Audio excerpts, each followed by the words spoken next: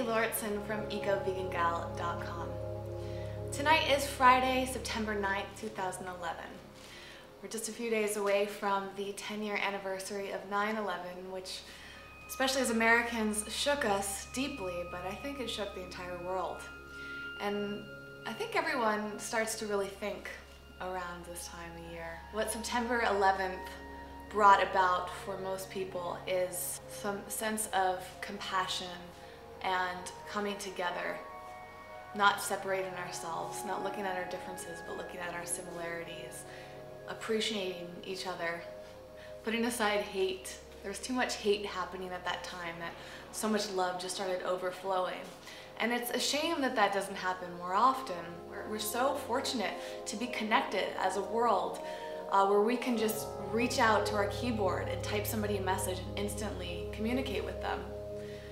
Uh, but unfortunately, it does bring around uh, some negativity. How can we communicate with each other in a more positive, loving way?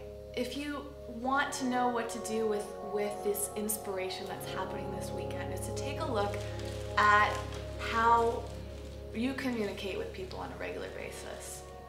Do you do it from a place of love regularly? And maybe occasionally you slip into a place of anger. We all do, I do.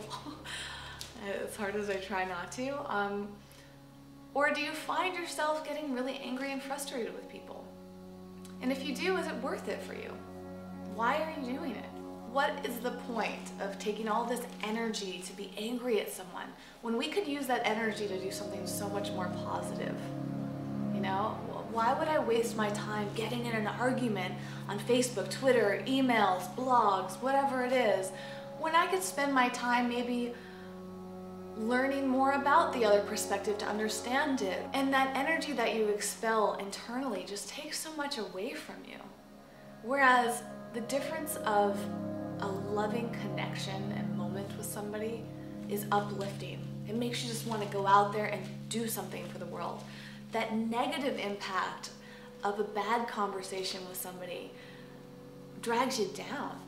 You could spend hours stewing over that moment, that fight with somebody, whether it's out of jealousy, whether it's out of a difference of opinion. I invite you to step back and think about your actions, your words, your overall communication.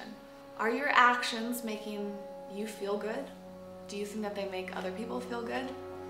Do your words do the same? You know the second you say something harmful to someone, it resonates within you. It might feel good to sometimes get someone back and say something mean to someone you're jealous of, but there's still, it's like a bittersweet feeling, right? I mean, cruel things just, they never feel entirely good.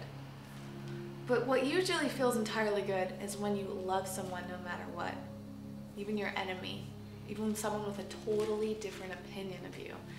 You could see someone doing something and you just think it's completely wrong, but coming from a place of love and respect is a gift that you can give them that they'll probably never expect from someone so different from them. We can't make this overall generalized statement on what's right or wrong. I have no idea what feels good to somebody else. Sure, as a society, we have general ideas on that, but that's going to differ from culture to culture. There's so many cultures throughout the world, and everybody has a different opinion. Everyone sees the world in a different way. Next time you're in a conversation about your diet, your lifestyle, challenge yourself to see how you can speak about it with the least amount of judgment as possible and the most amount of compassion.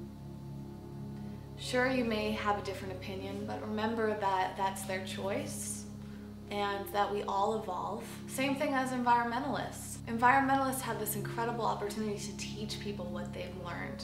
Not many people want to take the time to learn about how our actions affect the planet and our future. So instead of coming at as, you shouldn't do this, come across as, this is what I've learned, this is what I've been doing, this is the positive effect it happens. And then let others decide for themselves if they want to do that. There's so much good that we can do for the world as individuals if we just take a moment and breathe and have compassion for other people, for animals, for the planet. We can all make such a huge difference that way. The possibilities are completely endless. I can pretty much guarantee you that incorporating more love and compassion into your life, no matter how you do it, will make you feel better, make you feel stronger, more energized, more ready to take on the world and try new things. And communicating with other people and forming bonds with them instead of separating yourselves from them will make us all stronger together so we can make a huge difference and make better things happen even faster. Thank you so much for watching, and I really wish you the best wherever you are in the world. My heart goes out to all of you, and I look forward to hearing all the inspiration that'll come out of this tragic event. So feel free to share that with me right here on YouTube, on Eco Vegan Gals comment section on Facebook and Twitter. I love hearing from you as viewers and readers. And thank you so much for your mostly positive support. It inspires me to do more and more and work harder and harder. And it's, it's incredible. My website is proof of what happens when a group of people show love towards another individual. You have all made me who I am today, and I thank you so much and look forward to learning more about you and, and the journey that I will take with you. Thanks again. Bye.